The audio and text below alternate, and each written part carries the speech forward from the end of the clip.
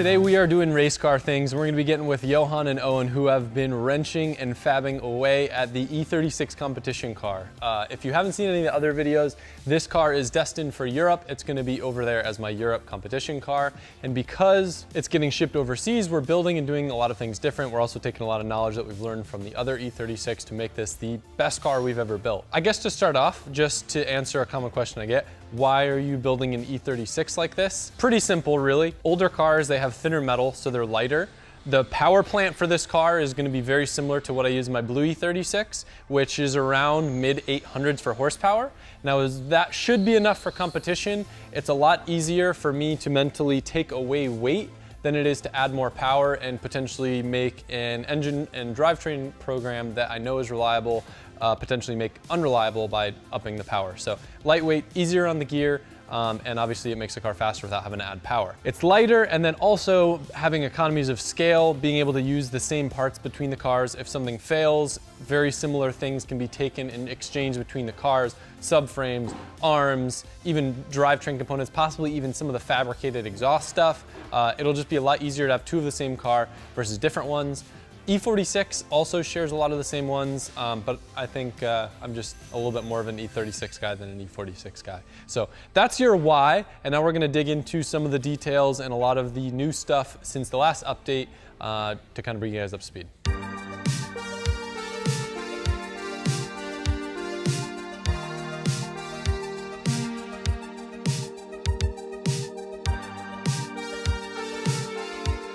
Another thing you'll see as we go through this car is it's incredibly simple. Um, because of the fact this car is going over to Europe and we don't know who is going to be running it with me at every event it goes to, making this car extremely serviceable, extremely simple uh, is a very core focus throughout the build. Looking at the engine bay, uh, nothing is wildly, drastically different from any other E36. I think the biggest thing compared to my other car is that we stitch welded um, quite a few areas around here, and then these bars were added uh, because this cutout area makes it a lot more serviceable if you have to make a change to a tie rod, anything going on with suspension, you can see what's going on, but obviously when you cut away this metal, it's good to strengthen it back up. Another real cool thing is this PWR custom intercooler we had made. I'll tell you a little bit more about it in a second, um, but obviously you can tell the radiator is no longer here. Not only does moving it in the back rule out the possibility of any punctures if I get a little greedy and give someone a bop, um, but it also moves weight more to the rear. Uh, as much as I would like to run an SR in this thing, like I said, it's the same power plant as a Blue E36. JZs are heavy. They're not by any means, uh, I don't want to say they're not a great engine. They're just, they're just old and heavy and iron and uh, they put a lot of weight on the front of the car. So want to move it back, try to get the weight uh, balance as good as we can. Freeing up space allows us to run the intercool a little bit farther back. And then, uh, yeah, this is a special unit. I'll show you. If you guys got a high horsepower car, you know intercoolers can be pretty heavy. I met with PWR at both PRI and SEMA and I just talked to him, like, yo, could you build me the lightest intercooler possible? So this intercooler, as big as it is, supporting 1,000 plus horsepower, put it on the scales and it weighs half of what my old intercooler weighed, which was like half the size. So 18 pounds for this giant monstrosity. The way they do this, what I was told is it's essentially a special brazing process, and then the fact that they have years of fabricating experience um, helps get it this lightweight. It also has louvered air fins and an internal tubulator that helps with heat exchange. And as you can see, it was custom made exactly for our application. Johan basically made a sketch on a napkin, sent it over, and the same guys that make intercoolers and radiators for F1, NASCAR, IndyCar, made a really badass unit for my E36, so I'm happy. I can't remember if I discussed this when we were talking about the body kit on the car originally. I was not a fan of the HGK front bumper. It's like a little bit too DTM race car for me.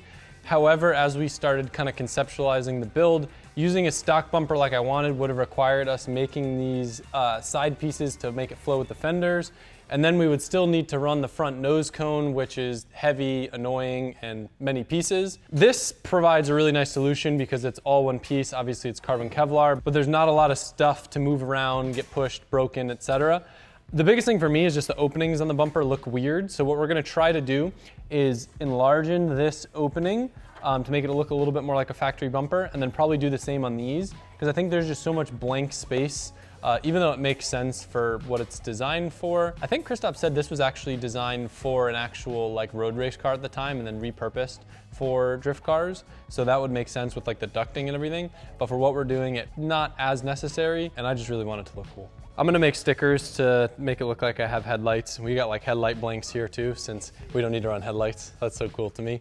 Um, you notice too, we, we cut here. I really didn't like how the fenders like kind of bowed out and looked real almost, um, I don't want to say like like Liberty Walk as like a derogatory thing, but it looked like very like stance car having the fender bow out. I like it when the fenders kind of have like a lip here, almost like the new GT3 RS. So we have here our very first in-house carbon piece. Josh was basically given the challenge, Fiberglass Poppy, to figure out how to lay carbon. So this is one of the very first things that he made. Uh, he still wants to get it better and this is like literally the, the start of something maybe much bigger. Um, but this was one of his first pieces and what this will basically do is replace what used to go here that was stock and then kind of flow in with this fender rather before it like, I wish I had the old piece to show you. We'll put a, a, clip up of what it looked like before, but it just came out really far and I think it would have also possibly caused an issue with wheel clearance where this is kind of radiused back quite a bit farther. There's a couple different processes for making carbon. This would be considered a wet lay. Uh, there's a lot of different processes, um, but this is probably the best like entry level thing to learn how to start working with carbon, but who knows, we could see the carbon department of LZMFG become the carbon department. this is your mid-video reminder that we are giving away this Baller Podium 1 Ultimate Simulator valued at over $50,000 and $15,000 cash. All you gotta do is support the channel by buying a shirt, hat, anything from lzmfg.com or drifthq.com is going to get you entered for a chance to win. One of my favorite things on this, uh, the past day or two, I've spent a little bit of time playing dirt.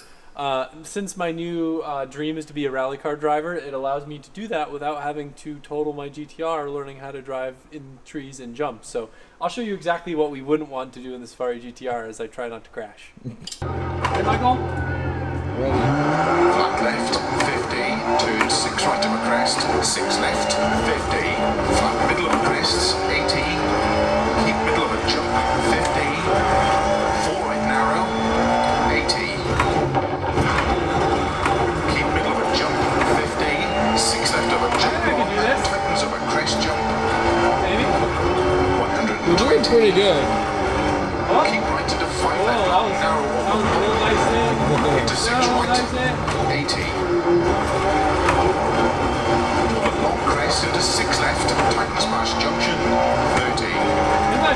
on this Narrow run. over crest. Yeah, Don't cut five left. Opens long we haven't rolled six yet. left. We haven't rolled yet. 30. Not bad. That was right? really good. This is really exhilarating. it's really fun. I'm starting to learn how the like little commands go. I will comment below if you want to see me get in an actual rally car because it's something I think I actually want to do. GTR is like cool and all, but like I want to go in a real rally car. Engine package, I guess one difference is we are going to experiment and see kind of what the differences, gains, or losses are with going from a stock intake manifold to a Plazmaman plenum. Typically, when you go to like a bigger plenum, you'll lose a little bit of torque in exchange for top end power. But the idea is by doing this, makes everything a little bit more uh, simple, serviceable, we do have to get rid of a brake booster, which is a pro and a con. I've kind of gotten used to it on the other car, but we're gonna try it, see how it uh, feels, and everything is technically reversible to where if we wanted to go to stock intake manifold and go back to a brake booster, we have that option and we know that it works on the other car. I said that it's the same power package as the other car to make it really, really simple. Essentially, we got a BC crank, 3.4, uh, BC cams, internals. It's essentially a BC 3.4 stroker kit, nothing super fancy. It is a CNC ported head, but in terms of 2J stuff and a, a lot of the wild things that you can do, it's really simple. Not a dry sump. Thankfully on E36s, it's rear sump, so you don't need to really worry about that. So yeah, just a really, really simple 2JZ package targeting like mid 800s for power.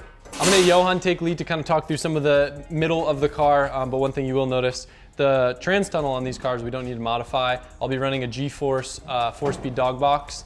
My favorite transmission ever. Literally, we figured out what works in the E36 uh, and clutch kickers.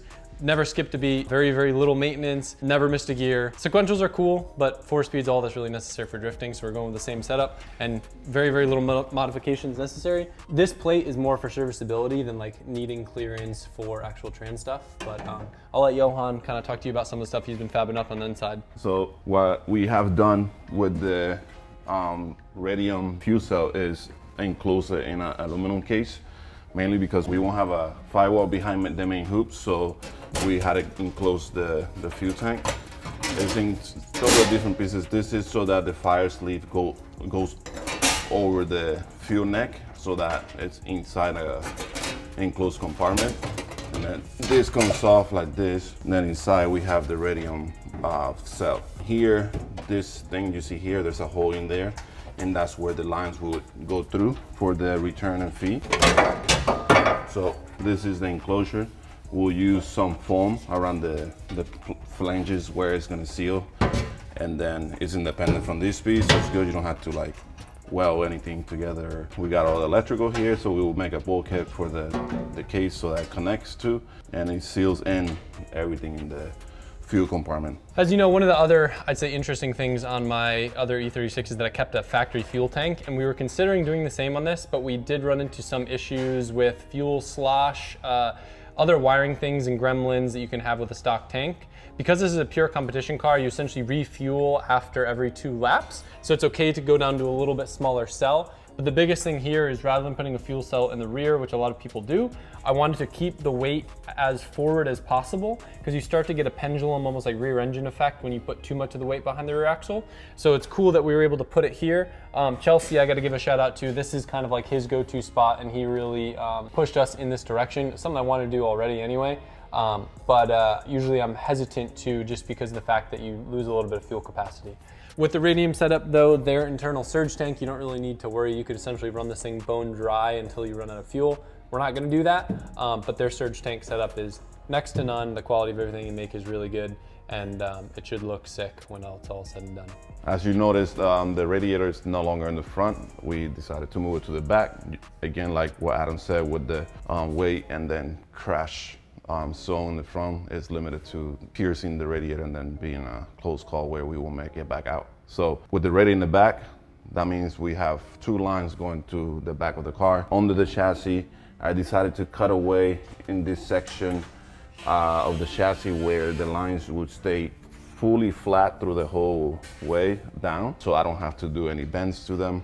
Um, there will be just aluminum tubing that runs through here. And then right behind here, there will be uh, two connections, AN connections, where one will go to the pump and then the other one is coming from the radiator. And then the pump is right here.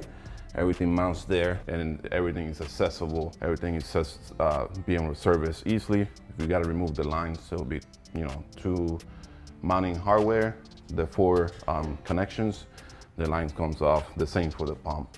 Everything is pretty straightforward so that we could work on it as efficient as we can. From there, the lines will come up through here.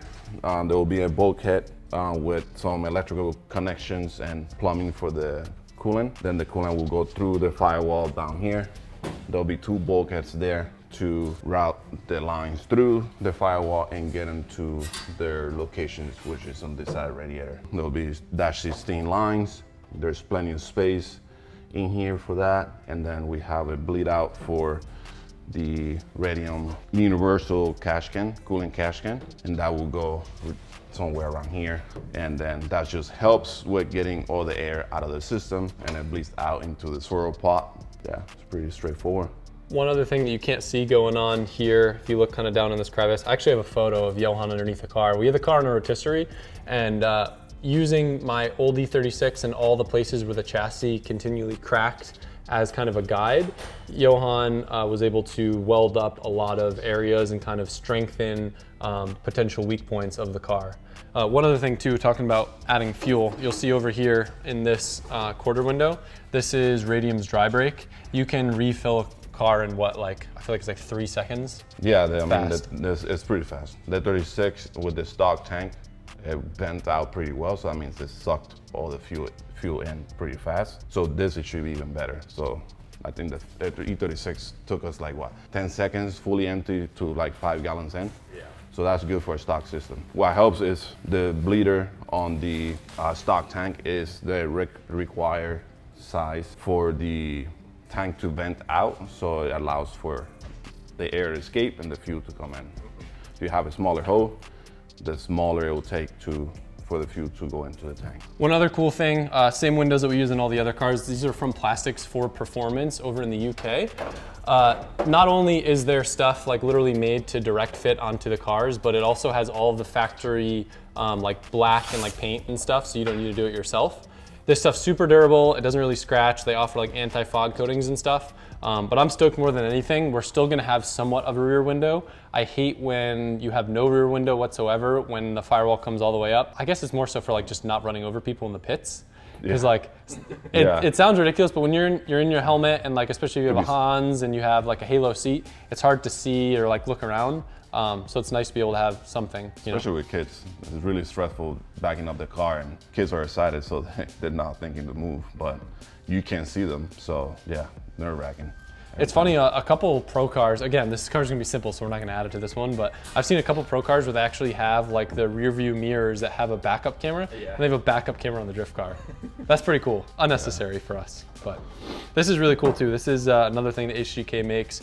Uh, cool solution for the fan shroud, just like a nice carbon piece instead of having to make something out of aluminum. Yeah, we're, we will be running brushless setup on this car and wired through the um, Racer PDMs uh, and controlled by that. Pretty str- simple, straightforward. They give you the whole shroud uncut so that the fans fit to size. Like you get the fans, you mock everything up, you cut it, and everything is perfect for the fans that you decide to run with.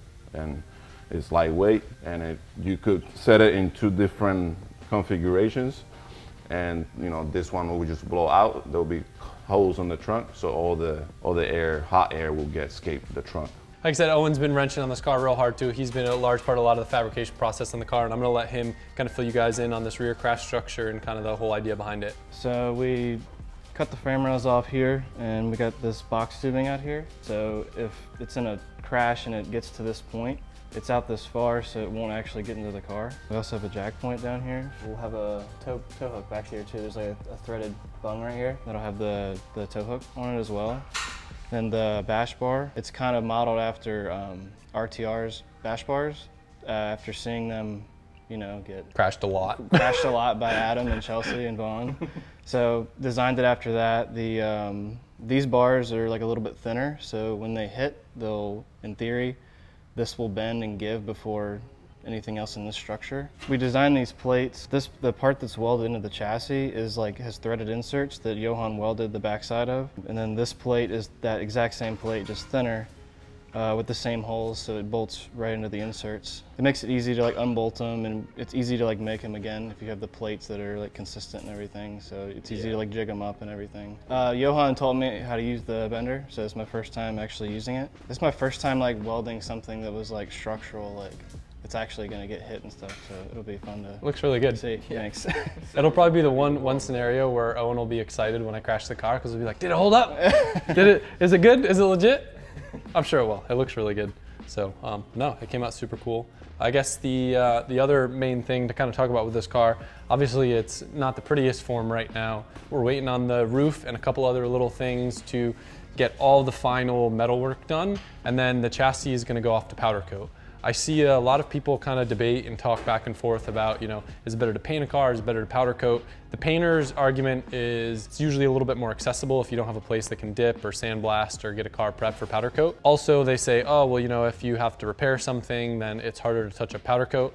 We powder coated the S15 and that build has lasted, I don't know what it is, five or six years now, and the powder coat still looks brand new. It's extremely durable um, and it still looks amazing. So thought process with this is do the same thing. We had touch-up cans made in paint to match the powder coat on the other car. So that way if there is something that's damaged or something you need to repair, uh, yeah, you'll have a few areas of the car that are painted versus powder coated, but it's the difference between the car lasting 10, 15 years before needing to get redone versus painted cars. I feel like you gotta repaint everything like almost once every two or three years. So uh, more of a longevity thing, and I think it's gonna look really good. That's pretty much it for this. I wanna give you guys an update. The guys have been busting ass in the background and the car's come a long way since you've last seen it. In other news, the 964 will probably have a video out sometime next week.